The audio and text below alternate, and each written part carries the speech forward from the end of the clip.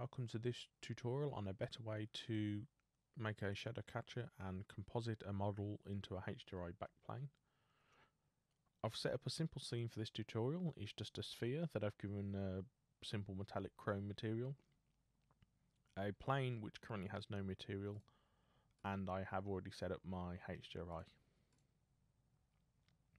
This is a modified tutorial from that I first came across with from a person called VK Lidu.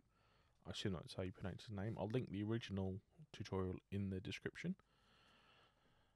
But if I switch to my camera view and go to rendered, you can see the problem that we have is the shadow of the ball is on the plane and the reflected shadow is on the ball, but we can see the entire plane and it's blocking the HDRI environment. The typical way to fix this is with the plane selected, go to Object Properties and click Shadow Catcher. That hides it in the scene, but the problem is we can still see the reflected shadow plane. If we untick Glossy, we can no longer see it in the ball, but the problem is we no longer see the reflected shadow either, which is not ideal. So if I re-enable Glossy and untick Shadow Catcher, with the plane selected, if you add a new material, delete the Principled, and I'm going to add a diffuse shader. I'm then going to add an texture and environment texture. Plug that into the diffuse shader. Now for the environment texture, you want the same HDRI texture you're using as the background. I'm using Derelict Highway from Polyhaven. I'm also going to control T to add the texture coordinates. If you don't have Node Wrangler enabled, you can manually add the texture coordinates and mapping. So we need to change the texture coordinate to reflection and set the scale in the mapping for the Z to minus 1. You can see now that the plane has a texture that perfectly maps to the HDRI environment. The problem is it's being also being lit by the HDRI environment and so is appearing lighter. The way to fix this is zoom in on the edge of the plane and in your material add color and RGB curve. I'm going to zoom in on this. Now you just need to simply make the plane darker so until it matches the HDRI environment.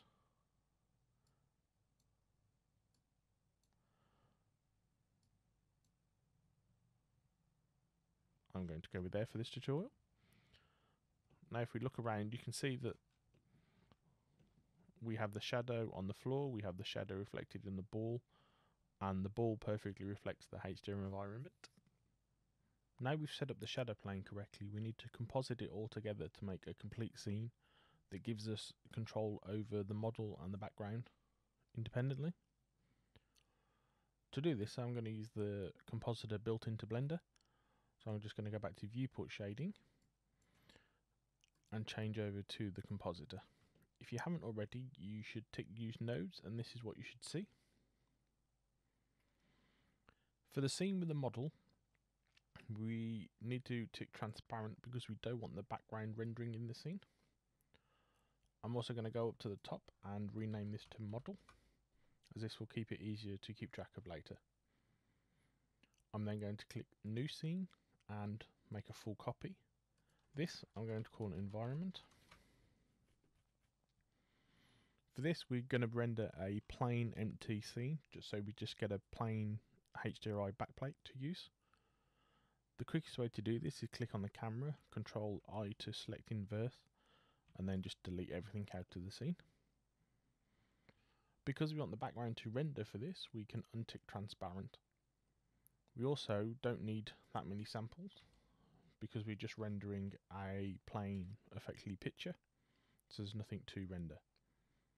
So we can change that down to 10. Then go back to model and again click on new and click full copy. This one I'm going to call alpha. For this scene you want to just delete the shadow plane and also make sure that transparent is ticked in this scene. We don't actually need the full render because all we'll be using out of this is the alpha channel. So if you go to shader editor and the world tab, we can delete everything out of that except the background of strength 1. I'm going to go back to my model tab. In layer properties, make sure ambient occlusion is ticked. And now we can get on with sorting out the compositor to render. So I'm going to go back to the compositor and I'm going to make it almost full screen. For this we need to duplicate the render layers, so I'm going to duplicate it once and twice. The top I'm going to set to environment, the middle I'm going to set to alpha, and the bottom I'm going to leave to model. At this point I'm going to render it out so you, we can see what happens with the final render as I composite this all together. So now that's complete, I'm going to open the image editor. As you can see with the environment texture selected we just have an empty background. If I go down to the alpha it's just a plain circle but as I said it's the alpha channel we use as this will separate the model from anything in the background. And the final model render we have is the actual sphere on top of the shadow plane. The first thing we want to do to bring this together is I'm going to move these far apart because we're going to need some room to work. Is I'm going to add an alpha over and drop it on this line. We need to plug the model layer into the bottom image and the environment into the top. As you can see that pieces them together so we have a full image now.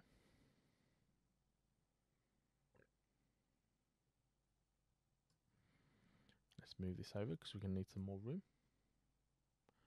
I'm then going to add a mixed node and also drop that on this line.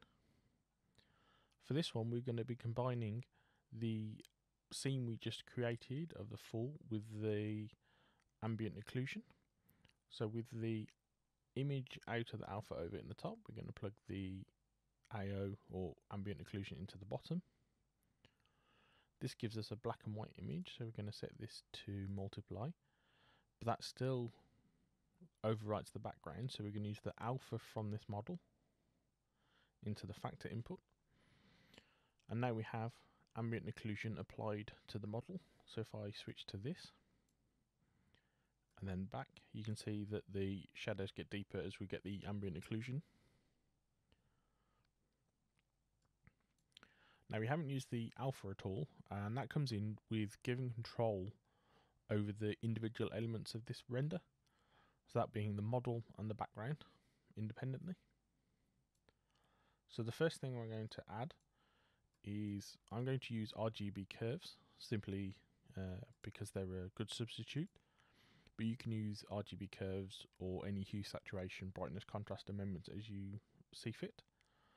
The first I'm going to place is on the ambient occlusion line. This just gives the control over the depth of the shadow. So you can match the shadow to any the shadow of your model to any shadows that are in the background. The next one to add is we want to be able to control the model independent of the background. So I'm going to duplicate RGB curves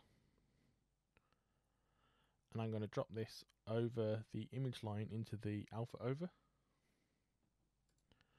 The problem here is if I change the RGB curves, you can see it affects the shadow plane too. So I'm going to take the alpha out of the, just the alpha layer and plug this into the factor. This controls between the model and the background. So we can control any colour or the brightness of the model independent of the background.